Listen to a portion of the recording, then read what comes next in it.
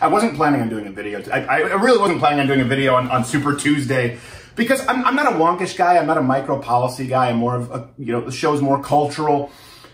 I leave it to the talking heads. I just think that they're wrong. What do I think is happening today?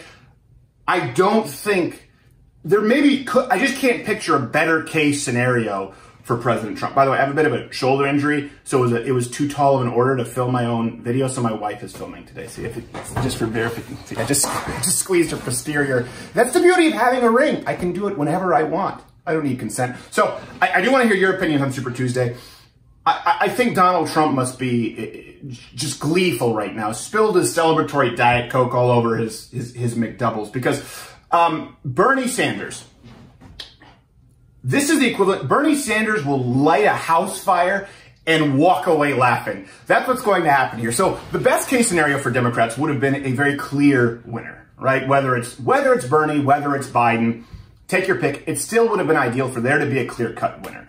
Uh, Elizabeth Warren is not doing well. Apparently, she's not dropping out because I have to subscribe to these newsletters, and she was asking for more money, which probably not the best investment uh, at this point. I think you, I think you could probably purchase some stock in New Coke and do better. Um, but there's this idea too that first off, let me let me kind of segment this. If Elizabeth Warren drops out, people are assuming that all of her voters will go to Bernie.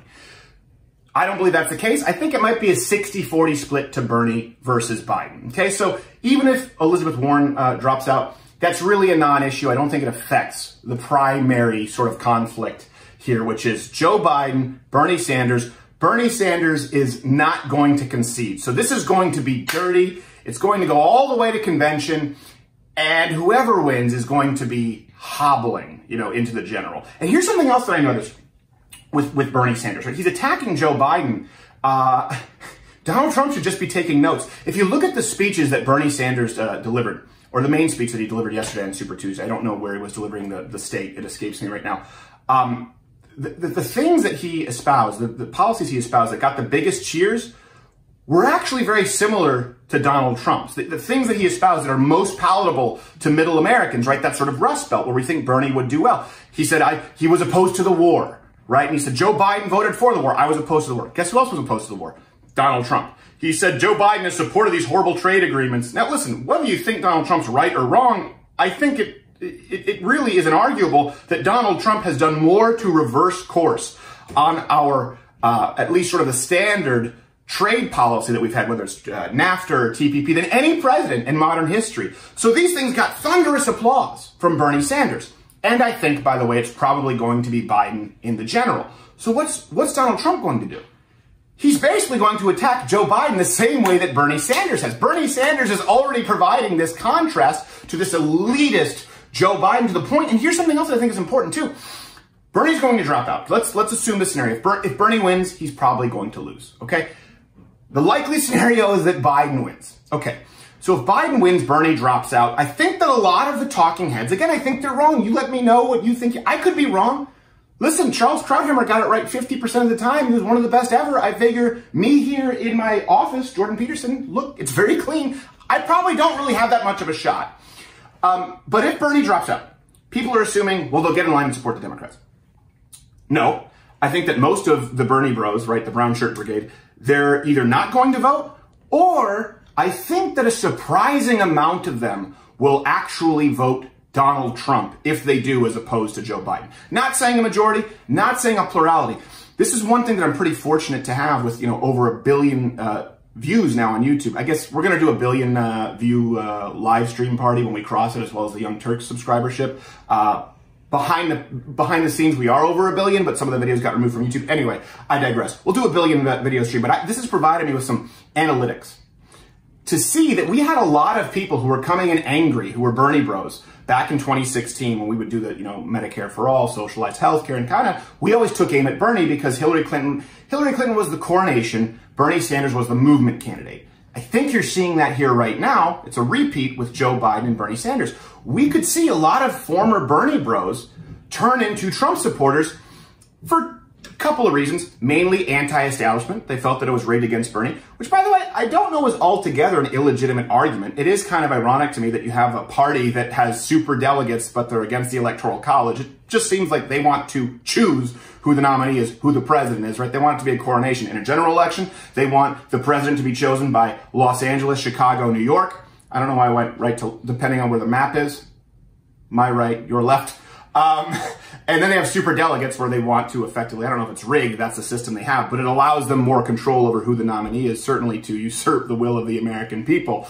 Uh, so a lot of Bernie voters, I think, will go to Trump for the same reasons they went to Trump over Hillary Clinton. Anti-establishment, and then again, the idea of trade, the idea of being anti-war. That's a wash between Bernie and Donald Trump, but it's actually a leg up for Donald Trump in contrast with Joe Biden, who is seen as more of a war hawk. Something else that I think is important to note here. Um, well, first off, that, let's call that the Hillary Clinton effect, okay? The Hillary Clinton effect. Hillary Clinton was seen as elitist, establishment, and uh, the Rust Belt, they didn't like her because she was basically, you know, funded by Wall Street donors and foreign money. So they thought, all right, Donald Trump is anti-establishment. Maybe he represents us more. If it's Joe Biden, you're going to get that effect times 10. Can you think of anyone more establishment than Joe Biden? Keep in mind here, this is something that people are missing. To give you an idea how establishment Joe Biden is, um, that's the only reason Barack Obama picked him. The only reason that he picked the guy who said you can't walk into a 7-Eleven without a slight Indian accent, the guy who said, you know, Barack Obama is pretty clean cut for a, uh, I think he said for a colored gentleman or a Negro, something that's offensive that's not really offensive. Anyways, he had a lot of gas kind of racist. I don't think he's racist. The gas were perceived as racist. The only reason Barack Obama picked Joe Biden was because here was this unknown senator with effectively no track record and a Muslim sounding name running for the highest office in the land. And at that point, he was seen as kind of a radical leftist. You know, someone who was, who was certainly to the left of Clinton's, uh, as we had known in the past.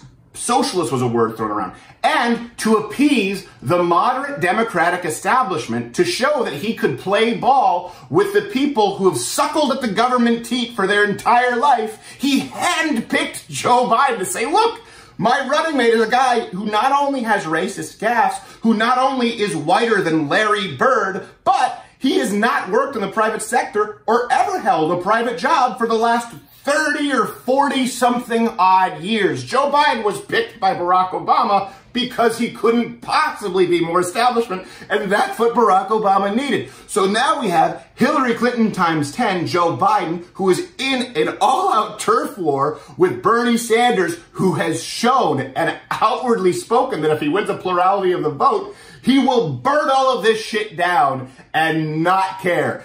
I can't imagine a scenario that is better for President Donald Trump going into the general, uh, but I reserve the right to be wrong.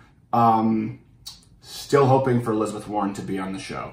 Uh, let me know your thoughts on the Super Tuesday, I, I, guess. And please do think of subscribing to Mug Club. That's what funds us. We're not funded by Al Jazeera or Buddy Roman.